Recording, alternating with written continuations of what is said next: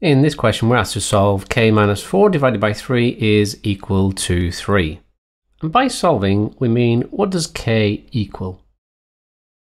So what I want to do is to eliminate the 3 and the negative 4 from this left-hand side to leave k on its own.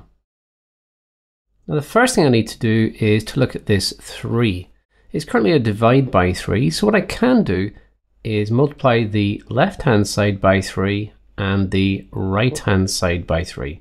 So whatever I do to one side, I must do to the other. So that will cancel the 3's on the left-hand side, leaving me with k minus 4 is equal to 9. The next thing I need to do is to eliminate this negative 4, and I do that by adding 4. And what I do to one side, I must do to the other. So now I have k is equal to 13. And that is the solution of this equation here.